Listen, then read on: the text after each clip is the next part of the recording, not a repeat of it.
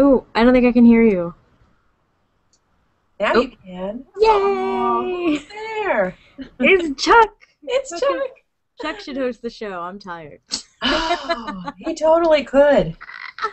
Hello, everyone. the Hello. Chucky Welcome. Squirrel Show. Welcome to this week's learning space with Captain Chuck. Um, yes. I am apparently- Captain Chuck.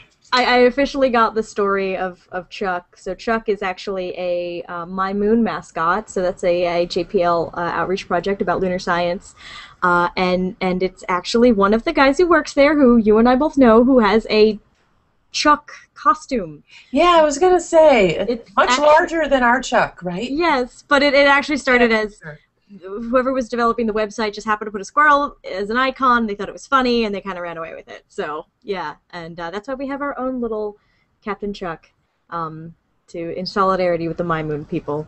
Uh, but also, so uh, yes, this is Learning Space. I'm a little bit rambly today. I'm Nicole Gugliucci. I am postdoc with CosmoQuest.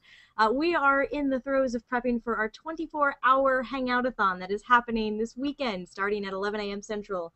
Uh, and uh, with me is Georgia Bracey. Hello. so Georgia Bracey is in charge of CosmoQuest education. Um, and uh, I have Chuck here with me today because he and I were in Indianapolis last week. Uh, and we were at the American Astronomical Society meeting. Uh, it was uh, one of the smaller meetings. Usually the spring meetings are a bit smaller, um, but um, it was a it was a you know fairly short drive for us. In fact, I have a picture of Chuck. Oh, I don't have it open. Uh, Is I- he I- driving? well, no, I, I but I, had know he's old enough.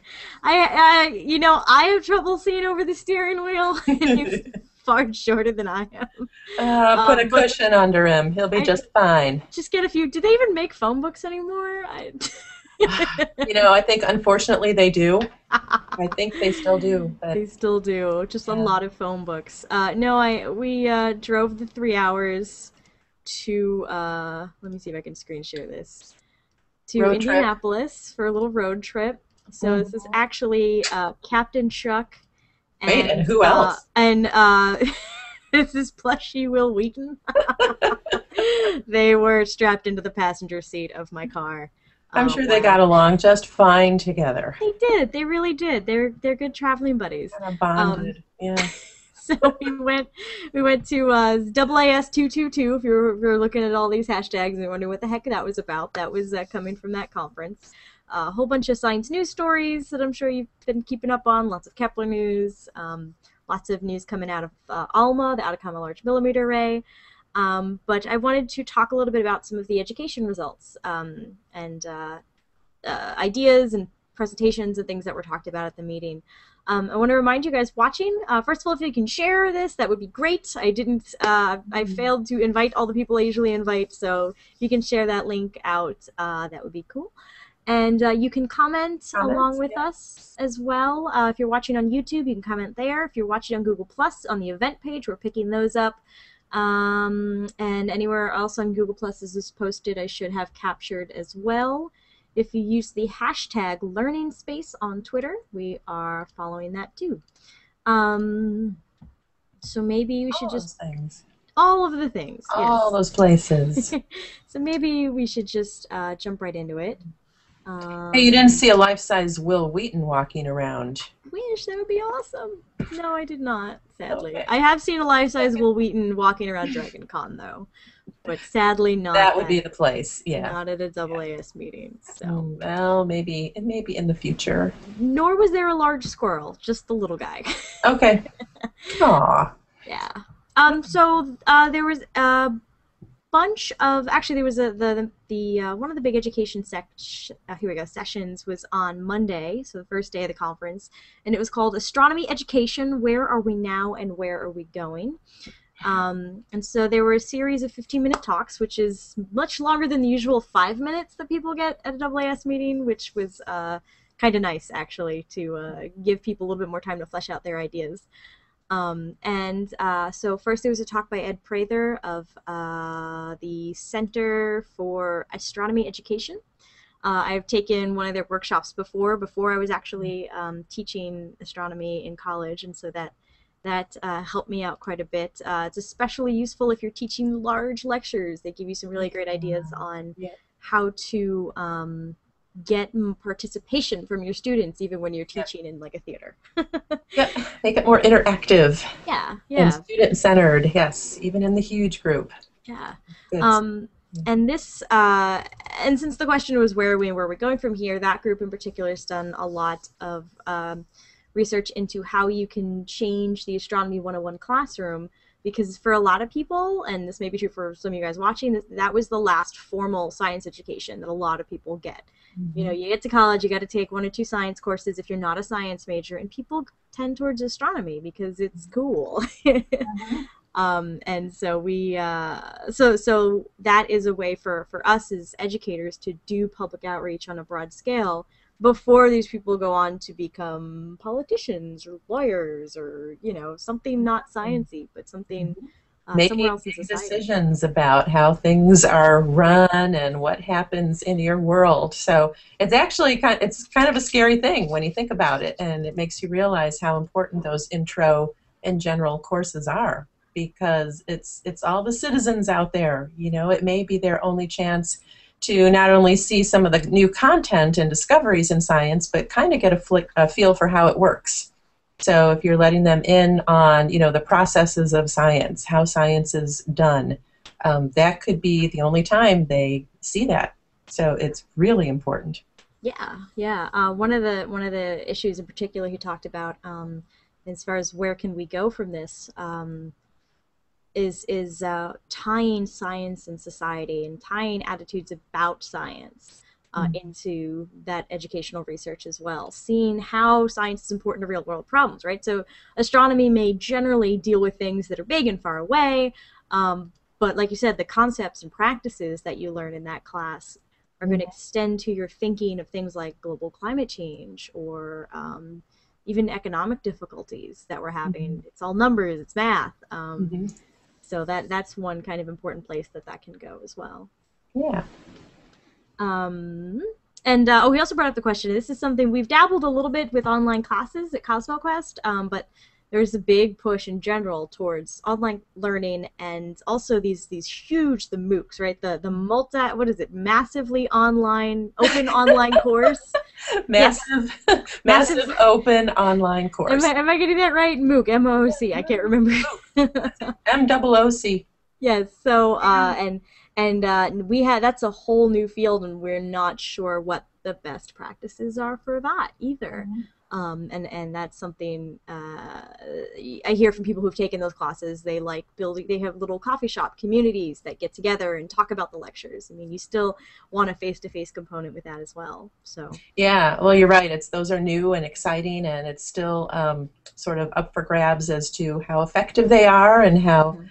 uh, how much learning goes on and um, how easy or difficult it is for people to access them because that's uh, you know the big part, a big uh, deal with them is that supposedly you know people who are far away from universities or can't afford to go to universities can still get a university quality course in whatever you know is available um, and there's still a lot of debate about that but Mhm. you know they are really exciting and there's a lot of opportunity out there but as you mentioned the um, the big thing is still to make it interactive. So even you know they think you know the most effective learning still happens even in those huge courses when people do get together and you know have a discussion however it happens on the mooc you know in a discussion forum or a, a wiki or you know even you know some of them still have some face-to-face parts to them so they're not totally online. So uh, that's still really important. But that's you know that's new and exciting um, but you know no not a lot of research i'm sure yet at all on it Yeah. so it's wide open wide open spaces. mm-hmm. Um, so uh, move on to the next topic, and this there was a, a topic touched on by two speakers. So Mary Kay Hemenway, who's been uh, in the astronomy education field, uh, has has incredible experience in uh, teacher professional development, and uh, Randy Ludwig as well. So they were doing a lot of hands-on inquiry-based astronomy uh, teacher professional development, something we know a little bit that, yeah. about. We're also in the throes of planning. um, and and talking about the professional development going on for K through 12 teachers. And she, uh, Mary Kay in particular, provided an interesting statistic that 15% of high school teachers have had an astronomy class.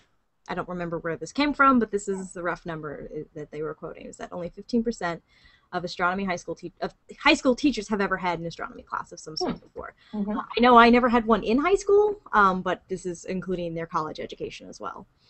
Um, am I still showing up here? My screen just went blank. Oh, I see you. Okay, well, but, okay. we tech.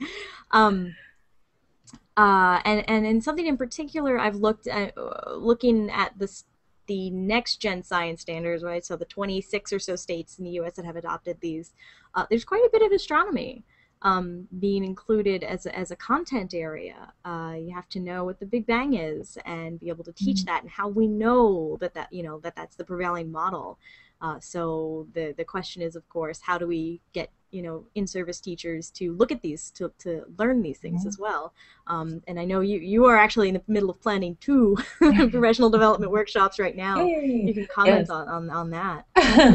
well, it is interesting. Um, so some of the disciplinary, um, there one of let me start again. So there's three basic parts to the new standards, and one is um, the disciplinary core ideas, Mhm. and there's four of them, and one of them is Earth and space science. So yeah, the the Earth, uh, not only Earth science, but space science and astronomy is kind of um, highlighted there, which is is really nice, but um, as you say, not everybody has had courses in that, um, and even earth science. You know, um, that's something that often gets overlooked as well. So it's kind of interesting that those two are together. Um, and not always, you know, courses that teachers take. Um, sometimes, and but not always with the high It's school. it's always been like biology, chemistry, physics. content areas that Yeah. they, they kind of like. You know, you get the biology folks, you get the chemistry folks, you know, maybe the physics people.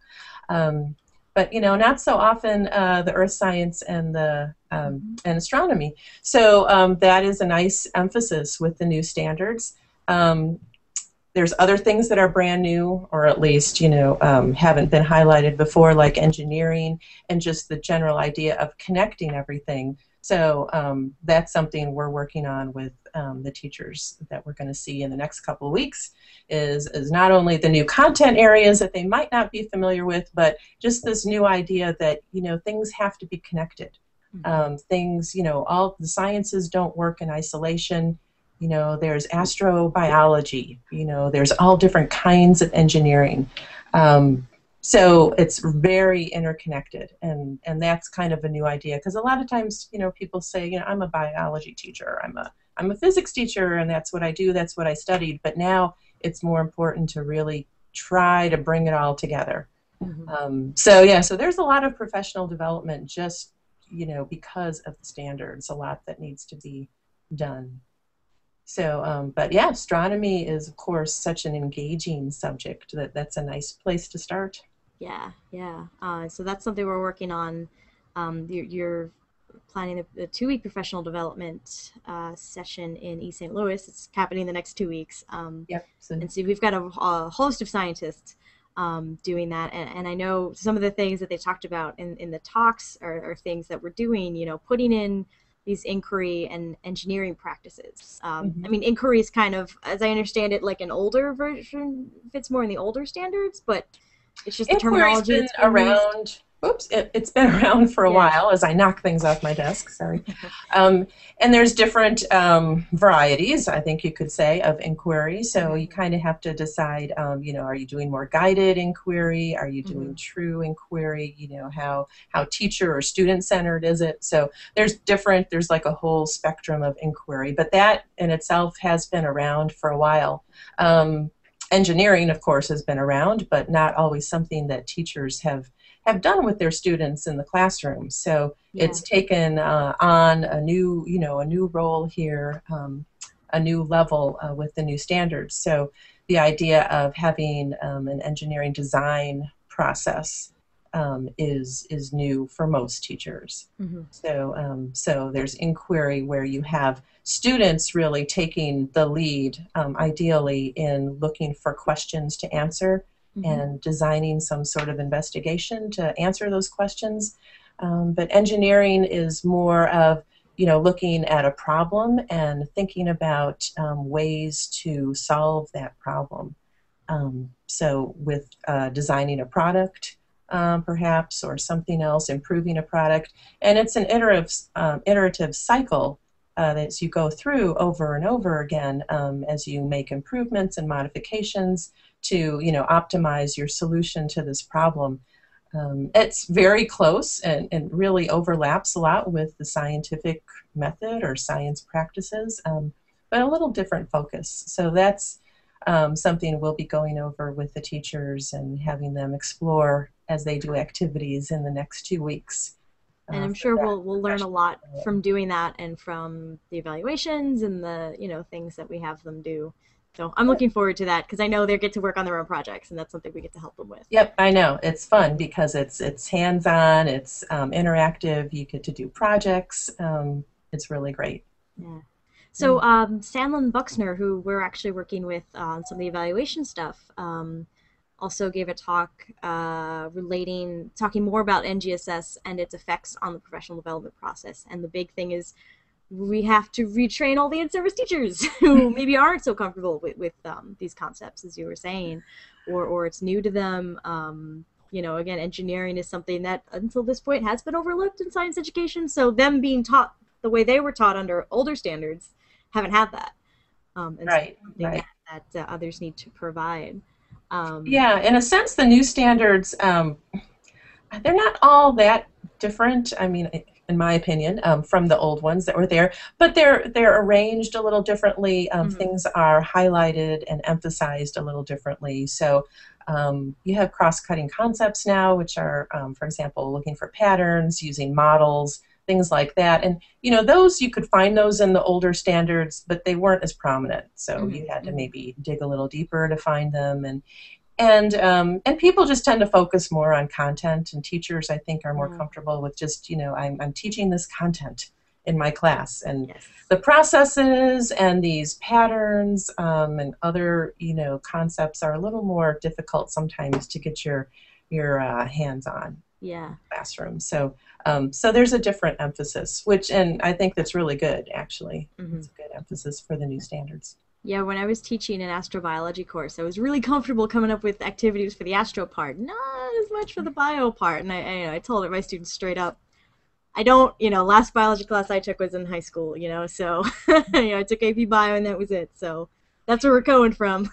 yeah, and you know, and it's hard. Um, and and teachers, I think, you know, part of what we have to do is is you know again make sure that teachers are kind of comfortable going outside mm-hmm. their you know their own comfort zone. So here, you know, they've always taught physics, and and now they have to bring in you know biology, hopefully, and earth science, and you know those are new things and not that it can't be done but it's another thing to do and something that they haven't had to think about for a while so so just you know the idea of this is another new thing mm-hmm. um, for teachers to do and and they're already um, very burdened with many things that they have to do yeah. so yeah. so just from that standpoint it's it's something that's a little difficult but um, professional development yep is certainly going to be needed and certainly going to play a role um, in getting the standards into the classroom so i have a slightly cheeky question because a friend of mine asked me this my friend, my friend Gail Zasowski is an astronomer, and uh, I was, you know, talking about all these different standards and these standards and those standards and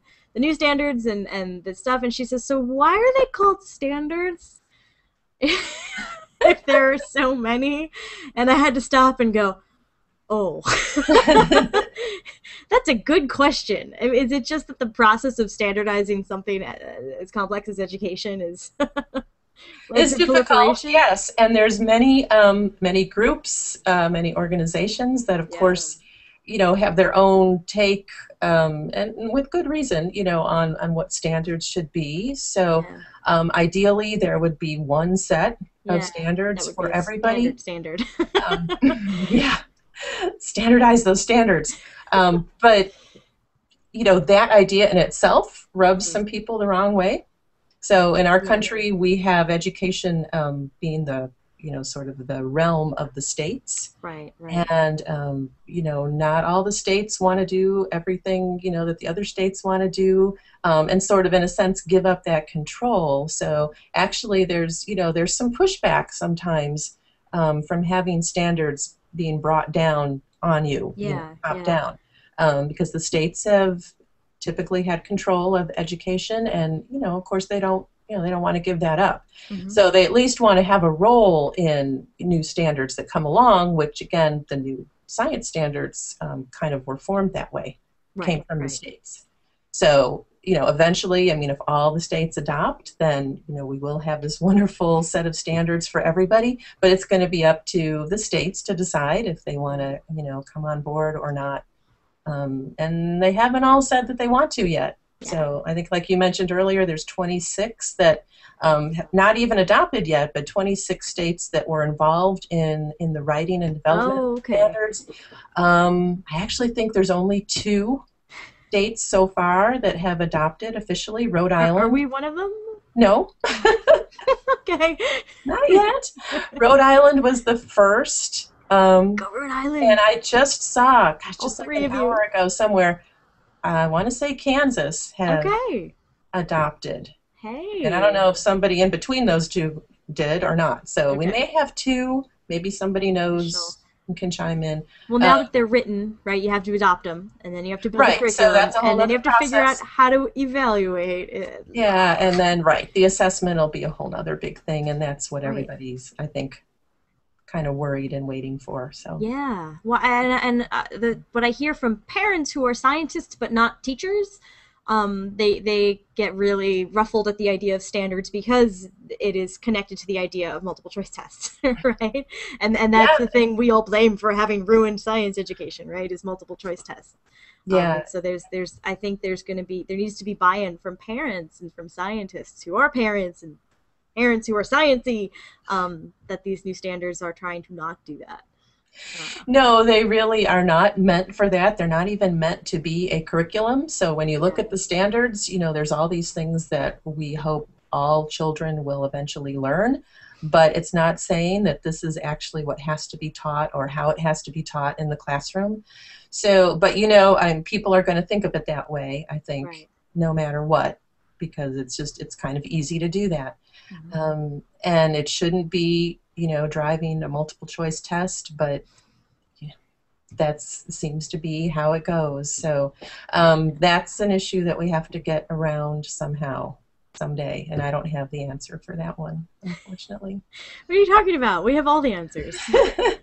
We're gonna make it all well, I, you know, I have answers, but how to make How yeah, to, how to yeah. make them actual reality Implement. is a whole other thing. Yes, yes, actual implementation. Yeah. Um, and and something that was talked about in general uh, at discussion afterwards. I've got one more talk to mention, but um, is that there hasn't been a lot of evaluation. There's been some evaluation of, of informal science learning environments, so like museums, um, citizen science website, which is what we're starting on, and some of what I presented, but I will not share with you guys because we're not done collecting data, so you can't see it yet. Sorry, uh, we're still we're still collecting data on the survey, so you you can't see our data yet. It'll skew your results.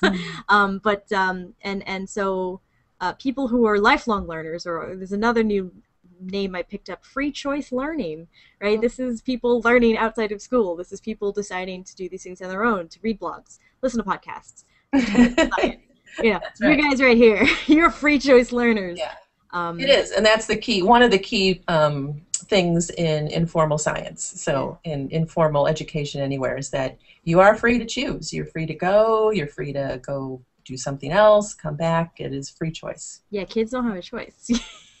Yes. So formal education, you're in the classroom. You don't have a whole lot of choice. yeah, yeah. But studying um, Not in the same way that you do. Yeah. Yeah, in a museum. but studying what brings people in, what people learn from it, Yeah. because it's not an environment where you want to be tested. Right. Uh, that that's Right. a whole nother ball of wax. Like I I know some has been done, but I don't. It wasn't a main topic of discussion in that particular session, and I personally don't know much as much about it other than what we've started doing. Um, Yeah. Well, that's the second key yeah. point of informal environments and informal learning is that there's no assessment.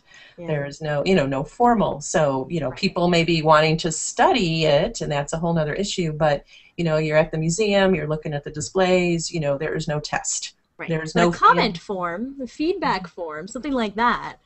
A survey. Um, Hmm, is- that's is one of right. That's your opinion. That's evaluation on, you know, yes, did you like this? Did you Right, learn? right. But you don't have that feeling of I need to engage with this, you know, display and it's wonderful, but you know, oh, there's going to be a test later, so I better try to memorize or I, you know, that stress that's more interesting that stress now. is off. Yeah, but it's more interesting if they're not prepared. I'm gonna scare you guys.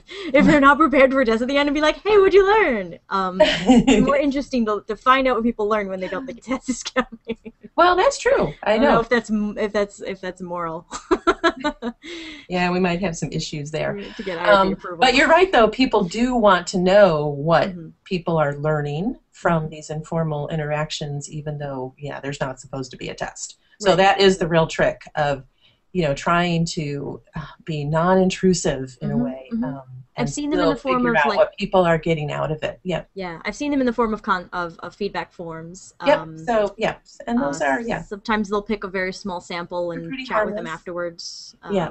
So yeah, Yeah. there's something there's something there. Um, one last uh, major thing I wanted to mention from this session. Uh, Denise Smith came and talked about the NASA EPO forum. So NASA be, um, having its its education and public outreach uh, section. I'm going to add that link in there too in the comments. Um, a lot of it is is uh, some of it's private, some of it is public. Uh, it's private in the way that uh, it's where we who are developing NASA education materials uh, Mhm. actually collaborate. Um, and you're going to see a lot coming out about evaluation of NASA EPO because, as you know, the president's proposed budget uh, would slash a lot of that. And um, they've collected years of evaluation data saying our, our programs are doing good stuff. And so, so Mhm. they're, they're trying to highlight that a bit more. Um, and it's it's a really good program. These forums allow the scientists and the educators to get together and come up with the new materials and new ideas. Um, you've been working with the forums longer than I have. I've been in it for, for like a year now. Um, finally getting the hang of it. Not much longer. They were kind of new to me, also. Okay. Um, so, you know, I'm still kind of exploring them. I, I went to the conference on the second day of this job. So I was really. we just throw you right in there. Yeah. Yeah, there's an astrophysics forum. There's a solar forum. There's a planetary forum. Planetary. I don't know See, what the other one is. say, Uh, other- the only- heliophysics? Did you say? no, oh, it's, so, it's solar. Yeah, helio. Sorry. Oh, sorry. Yeah, It's makes sense. helioplanetary astrophysics. Those are the three I've had stuff from, and I Yeah, it seems like there should be a fourth one. fourth, and I don't remember because that's like the Mm. one that I don't. I've never had produced material for, but um, ah, fail. Yeah, me too. Okay. I'm failing on Hmm. that. Yeah, because we, we work with we're primarily with with planetary now. Um, but this is the the community of people. Um, during the the AAS, I know the president's budget had to be. Um, uh, there was a live webcast where they were in front of Congress defending it. Um, Mm. I only got to see part of it, but uh, there are some Congress critters that are very pro NASA, so Yeah, that is is comforting. I think. Yeah, we won't, you know. that's a good a good thing. Yeah, yeah. So yay NASA EPO. Mm. Um, let's see. What else did I? So were these? You said they were 15 minute sessions. These are 15 minute talks all in one session on Monday Okay, afternoon. and then just a Q and A afterwards, or is it basically presentation and? Mm-hmm. there yeah. was a yeah, there was a little bit of Q and A afterwards. They brought all everybody up sort of as a panel. Um, like I said, mostly they talked about uh, you know a little bit of informal science education. Uh, you know what has that been do- doing? Um, Yeah. Any big much they're doing. concerns that seem to come out of the audience at all, or? Though I, I think there may have been. That's where I, I got in my head the discussion of a couple of parents, people who were scientists but also parents, Mhm. um, concerned that you know the standards will kill scientific curiosity. Uh, I vaguely remember that being a question that came up as well. okay. Um, so like I said, NGSS, it, you, you got to have buy-in from the teachers and the parents. Um, Yeah, and it's more, I guess, you know, I, it's the testing that has to stop. Um, yeah, you know, standards are, are guides. You know, it's it's this is what we think you know people should learn. This is what we think people should know by the time they reach this point in their education. But um, it doesn't mean that yeah we should have huge tests all the time that mhm. may or may not be aligned with what's going on in the classroom. yeah. Yeah. So- No, I remember. I remember taking the Regents exams. That's a the thing. child of New York State, so I took the Regents exams. Anybody else who's a New Yorker here? Uh, it was it was it was a state test, and it was our final grade for the class. Yeah. Uh, so it was a double whammy, and it was all multiple. It was almost all multiple choice. Um, Yeah, and you know, and that's another thing. You know, they call them high stakes testing for a reason. So, I mean, even if we had those tests, but if they were not tied so heavily to teacher evaluation and even school evaluation, I mean, in a way, it makes sense that they might. But there's right. so many other factors involved in uh, the success of a school, um, the success, uh, success of a student, um, how good a teacher is. You know, there's just so much more than that. But right. having everything hang on those tests um, is just a lot of pressure. And it's completely understandable why those tests then become the focus of education for the year for this, you know, classroom. Because, you know, that's what teachers' jobs are hanging on. Um, you know, reputations of schools, principals, superintendents, districts. Uh, it's amazing the pressure that they bring. So, you know, in a sense, it's not just the test; it's uh, what we're doing with the tests. I see. Yeah, yeah. So, You're not just getting the information on how are things working. You're right. It's to- it's how you're using it. What are you using it for? yeah. Um, uh, happier note. Uh, yes. So I mentioned NASA forums before. I should also screen share the NASA Wavelength webpage. So this came out a few months ago, but it was brought up again. Um, this is nasawavelength.org. All of the NASA educational products are on one easy site. For a long time, I think they were tied to the mission pages, and so you had to find them on the individual mission pages. Now you can go over, you know, whatever. Okay, look, if you're teaching elementary school, there's like 800 lessons right. To choose nice, from. Um, Um, yeah, you can search for lessons. Um, you know, topics. Uh, it's really nice. Got a really nice search engine. Lots Yeah. of good things in there. So Yeah. you can search, get your. So there's a whole bunch of chemistry and earth science, um, and I know that they also have these strand maps, which I think ties into a lot of the standards as well. Um, so if you want I hadn't to, looked if you at that know, before. Nice. they they talked about this at NSTA Okay. um, when we were we did a bunch of uh, workshops with teachers, and so they have these huge concept maps Hmm. um, that tie to particular. Uh, that doesn't have any. That has like 61. I don't remember how it. There you go. Here's are all the resources that fit that little bubble. Wow, that's Um, amazing. And you can actually get into that individually, okay. uh, which is pretty cool. So, uh, whoops. So that is uh, an interest, a cool NASA product to share. NASA Wavelength, good stuff. Yeah. Um, so yeah, uh, there were some other. Uh, there was a poster session as well. Um, So there were some interesting little posters. I don't have any. You know, I don't want to like share pictures of people's photos or anything, um, of posters or anything. But I did see some, uh, pick up some interesting things. One in particular. Uh, I do have a picture of here for reference, so I know who did it. Um, this is from Furman University. Uh, they did a first year seminar class of science and science fiction. So Oh, of course, good. I'm like, oh my god! I saw it in passing. I didn't get a chance to look closely, so my friend sent me a Mm. picture of it. but like, they read different um, science fiction books. I think Mhm. specifically pertaining to Mars in this one. I don't. I can't remember, but um, and then talked about the science behind them. And so they read like the Red Mars series and talked about you know, colonization and uh, and um, And this is for um. Undergraduate, Mhm, undergraduate freshman like freshmen. Okay. Yeah, yeah, probably. Actually, yeah, first year seminar. So I know a lot of schools have a first year seminar Oh, course. It's a little okay. bit beyond, you know, it's a little unusual. I did one on utopian literature when I was in college. Uh, it's, it's, you know, Good. Gives you the chance to look at those unusual Yeah. topics. yeah. And so they did. And, oh, oh, I was a TA for one that was literally all about rockets and dinosaurs. Like. We did dinosaurs and then we did rockets. Like there was no overarching theme except for like things kids like. okay. about That works. science. It was the coolest thing. So a TA for that. But anyway, so this is this this would be just as cool. Um, it was science and science fiction. Um, you could have them read a book for that. You can pick out your you know particular episodes of Star Trek or or Babylon Five or Stargate. Uh, I can think of a Stargate episode I would show for black hole physics right off the top of my head. Were they doing movies and TV as I- well, or I don't know how much they did movies and TV. I know they definitely did books. It was a liter I think it was a literature professor and a, an astronomer. Um, but you can add those clips in, and you can add those in as, as extras if you don't want them. If you Yeah. can't have them reading all, you know, on every subject you touch, you can Yeah. have some viewers, some some. Um, I have to remember this. I think I'm going to be involved in the sci-fi club here at SIUE next semester, so Yeah. I need to remember this. That's a great. I mean, that's a great idea to, to do, and you can do that at um, many levels, many Yeah, levels of yeah. education. So And you know, you, you team up with an English professor, and you, Mhm. you're just good to go. so I love that idea. um, there was another one I don't have, I don't remember the link of, but there is a gentleman who's starting. Uh, he went looking around for open source astronomy textbooks and didn't find one he liked, and so he is starting one.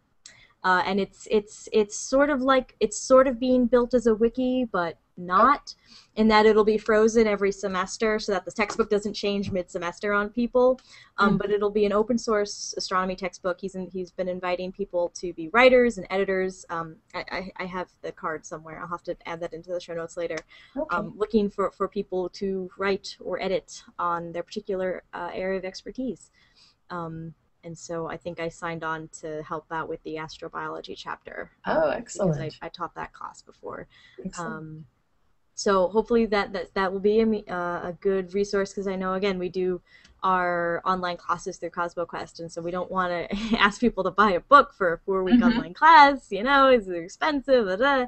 yeah. Um, but you can have people use that as a reference, and it will be sourced from people all over the field. Yep. So that's pretty cool. Um, oh gosh, what else did I run into? I can't think of. Uh, oh, there was a couple more teacher professional development type things. Um, one of them is the NASA. You know, I'll just put the link in there. It's called NITARP. Um, but these are the, these uh, professional development opportunities that teachers could could on if they want to get more space science in the classroom. Um, and in particular, they were evaluating some of the um, some of the results they had from their professional development. Um, there was another uh, there was a, a researcher I talked to who um, had a certain way of teaching girls in elementary school using spatial uh, that improved their spatial reasoning skills. Um, so there was uh, Oh. different. Um, she had teachers trying different ways of teaching. I can't remember the specifics again. I have a picture somewhere um, of of not just splitting girls and boys, but also they were doing uh, demographics by race as well. And so the ones there was a certain way of teaching spatial concepts using these two-dimensional and three-dimensional models that were um, really helpful for girls and especially girls uh, minority girls and so that was really cool so seeing this in the classroom research um, was pretty Mhm. exciting as well um, Yeah, that's the really cool thing about I don't know, especially I like the poster sessions just because you you just see such a variety of, of different projects. yeah You can take a look and, and see, you know, their results and it's not you can take as much time as you want and usually you can talk to the people. right Um, and you just get a nice variety of, you know, things that people are trying sometimes in the classroom like this and um, come away with some really good ideas. now i have the list open and i'm gonna find it gosh darn it uh, This oh was- okay was the- jeff jeffrey burks was the younger one kids too. This was with the that? girls. No, uh, the, the one that was the open source introduction to astronomy textbook was Jeffrey Burks Mm, okay. uh, from I don't know if it has uh, from Tennessee State. And you know, I'll just link to all these abstracts. Um, there's the freshman year seminar. Uh, there's my poster. Uh, oh. I found it. Merryn Cole. I think that's who it was. Uh, University of Kentucky. Um, this was actually specifically a. Uh, they were observing the moon and doing spatial science reasoning, uh, of course. Oh, and Jennifer Wilhelm. Sorry, that's the other one that was spatial reasoning. Um, using different, uh, so Jennifer Wilhelm of University of Kentucky as well, um, doing uh, different types of spatial reasoning uh, activities with girls. Uh, so I will link to these to, to the abstracts. I'm pretty sure these are all available without signing in, but that may not be true. Um, but I will I will find them. They, they they at least have to be on ADS. I will find them. I will find them. Uh, so a lot of a lot of interesting stuff being done in the classroom, in Mhm. college level, uh, at elementary school level, and so that's always always pretty fun. Yeah, yeah. And I know we're in for more at Astronomical Society of the Pacific in July in San In Jose. July. Yeah. So we're between the two of us, we're giving like four presentations. Could be. Could be, yeah. That's a great one for that's a much more education focused Mhm. than AAS, although um, I think AAS is you know, their education portion is, is growing or Mhm. has been growing at least. Yeah, Um, yeah. But ASP is, is definitely focused on on education and public outreach um, at all levels. So that's an exciting one, a fun one to go to. Yep. Yeah, So, I'm excited because I went last year and I was new to this, so I didn't really have anything to present. I was just kind of watching. Uh, so this time, having having a couple posters and, and, and presentations to do will be good Yeah, yeah. uh, in San Jose. Um, so yeah, you know what I'll do is I'll Mm. I will write a blog post on these interesting abstracts that I have found and talk to the people for. Cause there's a couple of others. Uh, I don't want to get too wordy with them without having something cool to show. So I will I will do that. Uh, my list of blog posts to write. Um, there's some other interesting things going on at AAS. Um, starting at the last January one, uh, they're working on since they have you know a few hundred to a few thousand astronomers in one place. why not bring in school kids, right? And and unleash them. Uh, actually, it's it's way more uh, organized than that. Um, they they've done an amazing job. So basically, one day.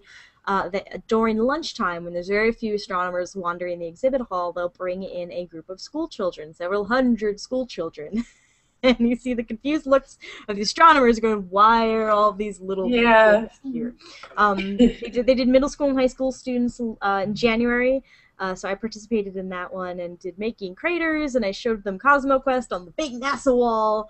Um, this time I wasn't uh, directly involved, although I did help stuff their goodie bags full of, of swag from us and from from other organizations that brought their stuff last minute. That's important. That's Yes. very important. Give them the swag, but uh, my friend free stuff. yeah, Yeah. my friend uh, Gail Zasowski gave a talk. Um, this was mostly middle schoolers this time, so a younger group. Um, they asked the most amazing questions. oh Gail was just like, "Wow, that was a good mm-hmm. question." To every mm-hmm. single question, they were asking um, because she was talking about the Milky Way, and and and uh, she studies particular. She maps out the distribution of dust in the Milky Way, and so they were asking really detailed, insightful questions about galaxy structure and morphology and evolution, uh, which was really exciting to see. Um, so uh, they had that, and then they broke Yeah. off into groups and went around to different stations. Uh, I have a picture of a group at the National Radio Astronomy Observatory station, of course, um, because I love those guys. Because you know they hi- I was their grad student for many years. Uh, so you've got all these kids sitting on the floor, uh, and he's got he's answering questions, and they have a video so showing a radio image of Cassiopeia A. Oh, Uh, nice. and you know, like I said, they, they got freebies from all the organizations as well, posters. Like they may have actually given them the poster that's behind me, the Cygnus A. Um, yes, one of them's using the poster as a telescope. yes, they are. yeah, I think Why they may have got. Yeah. They may, I think they got that, that poster back there. It's Hercules A in uh, radio, one of my favorites. Um, so yeah, so they went around. Um, there was a couple of the optics people had little things to show them. Um, some had movies, some had demos. I know Chandra does this um, universe in a bottle thing with jelly beans and Yes, with the, color- jelly beans. I've seen that. The That's a color of the jelly bean uh, corresponds to um, like what it is. If it's like dark matter dark energy or, or regular matter right? Baryonic matter. And so you've got all these black jelly beans which are the licorice ones which are my mother's favorite. So I feel like I need to give her this. Um, Oh. last year they had a pulsar, which is like a little red LED, like in a ball of clay on string, and you spin it, and you get, and so it looks like a pulsar. I think um, I've seen that. Yeah, I want to make one. so they have some really good activities for. I don't know how the schools actually sign up to be a part of it, um, but I can find out when the January one gets closer. The Yeah. January one is going to be in the DC area. It's going to be in a resort type area thing in Maryland, so not Okay. not downtown like it usually is. It's Okay. further out, but um, And that's just an hour, did you say, that they open? that was a few. the- I want to say it was an hour. No, it was more than an hour. I think it was more like two hours. Okay. And they have I forget maybe 10, 15 minutes at each each station. They ring a bell and they all like switch. It's very well. I mean, to have several hundred kids in that conference center, it was very well mm. coordinated. That's They have great. a system, and it's they have a system. So it's not mass chaos. it's not mass chaos. It- Okay. That many kids. And funny, my Could friend. Gail was like nervous going up there. She's like, uh, I'm really nervous. I'm like, Gail, we've worked with elementary school kids we, all through grad school. She's like, yeah, but we had like no more than 10 or 15 at a time. There's 200 in front of me. Yeah, they'll behave. It's fine. So they had um, teachers and parents, I'm assuming. Along? Yeah, they, they yeah they brought uh the each group had a chaperone that was either a teacher or parent as well. So they get they got freebies too. Yeah, I was gonna say, good, good thing. They get the freebies, they get the demos. Um, they did edible astronomy uh, with one group, which I am doing, stealing some of those activities. or some of those activities I've already done anyway. Yeah. so what were they eating? They made, ah, I love this. They made an uh, active galactic nucleus, right, out of a bagel. A bagel? the Okay. bagel is the torus, right? and and the ice these ice cream cones that stick out the other each end, which are the jets, or, or, or then there's Twizzlers involved. I don't know. It's not the kind of stuff you'd all want to eat together, but it makes a pretty convincing Oh, I don't know. Maybe. physical Doesn't sound that bad. I don't doesn't sound that bad. Twizzlers bagel and ice cream cone. I don't, I don't know how I feel about Oh, that. hey, try it. Yeah. Uh, I will try any food once. So as long So as it that doesn't have a high delicious. probability of killing me, I will try any food once. Say that on on record. Um, and Hmm. something else they did, uh, I heard about this from from Rick Fienberg. Um, so I packed up my telescope and put it in my car for the star party. So they actually did a star party from downtown Indianapolis. Mm-hmm. Was a little worried how this was going to work out, but since there was no moon and Saturn was up at the, so this is um, they were just setting up. Um, they had a whole bunch of uh, people from from the Amateur Society in Indianapolis, um, Great. And so this particular telescope is completely handmade. This this Nice wooden looking guy scope. there. Yes. And there's some huge and oh my god! So I met this guy, uh, Mike. I can't remember his last name. So hi, um, but I know his Twitter handle because he recognized my Twitter handle. Um, and by the end of the night, most people had had got had come by, had left, and so we were goofing around and looking at as many. Um, you know, Messier objects as we could from Mhm. downtown Indianapolis. It was like it's a fuzzy smudge, it's another fuzzy smudge. Um, but really, Saturn Saturn was the main attraction. Um, and so we had all these telescopes with different views of Saturn. You can see many of its moons through some of the bigger ones. I had my little ETX 90 out there, which um, my uh, Tim, my boyfriend, uh, was able to run for me while I ran around handing out handouts. um, uh, there were, you know, lots of people coming from the restaurants. Um, there were there were kids who were graduating high school. Uh, their graduation was actually in the convention center, so they got pulled aside to look through the telescopes and look at Saturn. So I think I, I don't know what the numbers are. We, they reached uh, quite a few people um, with Saturn, and uh, yeah, Saturn never disappoints. yeah, yeah, it, it was it was amazing. great. And then and then we got a really spectacular ISS pass as well. Oh, bonus. All right. Yeah, it was like a, it was great. So uh, somebody had been tracking on one of their apps on their Mhm. phones. Um, I Yeah. guess I should plug. I use ISS Tracker on my Android um, phone, but there's there there are lots and lots of these. Heavensabove.com, of course, is like a great website for this. I know. I was going to say that's where I go. Um, Yeah. I don't know if they have an app though, or if that's You the know, app that feeds all the others. I have no idea. I don't know. Um, and so yeah, so uh, you know, we all ran to the back of that field there because it would be behind a building, so we had to run to the back of the field so we could see it above the building. We're like, whoa, cool! Then someone goes, I'm gonna get my telescope. Runs back to the telescope, and a couple of people got to see it flash through. But you really, um, if you if you're trying to track it, binoculars work better than a telescope. Um, I would think so. people say it does look like like a, like a little Tie Fighter. Um, Oh, really? Oh, yeah, God. yeah, you can actually resolve details if, if you're tracking it well with binoculars.